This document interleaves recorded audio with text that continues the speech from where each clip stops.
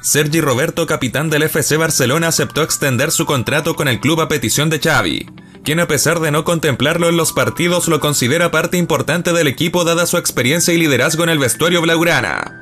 El jugador de 32 años ha disputado 10 encuentros de 33 posibles en la liga, una cifra preocupante dada la importancia del futbolista en el club.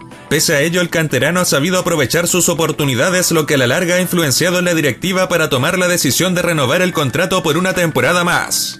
Otro de los factores a considerar es que el jugador pidió en las negociaciones mantener su salario actual de 4.3 millones de euros anuales, uno de los más bajos en la plantilla que el mismo volante habría recortado el año pasado en un 60% para poder ayudar al club en medio de la crisis económica que se encontraba.